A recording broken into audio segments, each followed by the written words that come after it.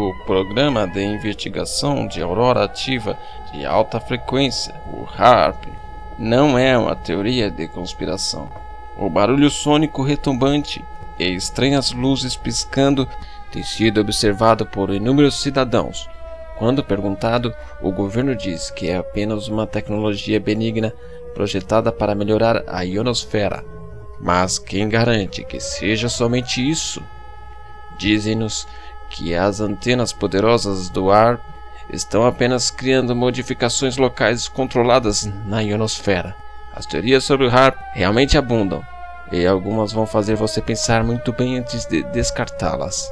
Não importa o quão loucas elas pareçam, os fatos são que os militares dos Estados Unidos gastaram bilhões no projeto, e eles constantemente minimizam seu verdadeiro poder. Mas sabemos, com certeza, que o HARP tem a capacidade de fazer as seguintes coisas: criar um efeito na atmosfera tão dramático como o de uma bomba termonuclear, que pode derrubar toda a transmissão de rádio e outras frequências a mais de um milhão de quilômetros quadrados. Substituir o método atual que submarinos militares usam para se comunicar um com o outro e que pode trabalhar em águas extremamente profundas fornecer um sistema de radar melhor do que a atual tecnologia utiliza, localizar os locais exatos de depósitos de petróleo, depósitos de gás ou minerais em qualquer lugar do mundo. Determinar se outros países estão mantendo suas promessas de respeitar o Tratado de Não Proliferação Nuclear. Detectar aviões inimigos ou até mesmo OVNIs. O HARP foi criado com a ajuda do físico Bernard J. Eastland e está patenteado desde a década de 80, intitulado de Método e Aparelho para alterar uma região na atmosfera da Terra, ionosfera e ou magnetosfera.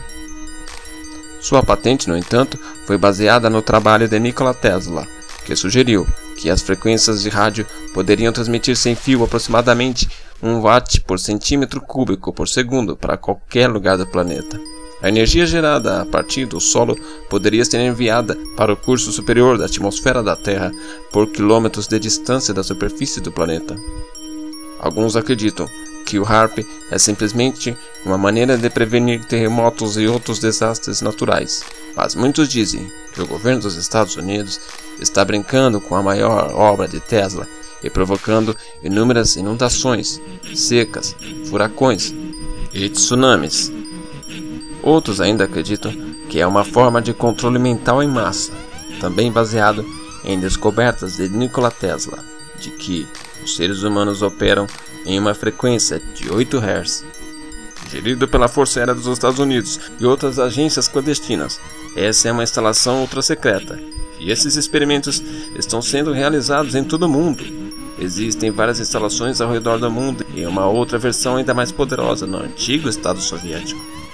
A maioria das pessoas estão convencidas de que HARP é uma espécie de estação meteorológica, mas quem estudar as patentes de Bernard Eastman e as obras de Nikola Tesla vai perceber o potencial de um equipamento desse tipo. Será que um dia a humanidade em geral vai acordar e deixar de ser enganada?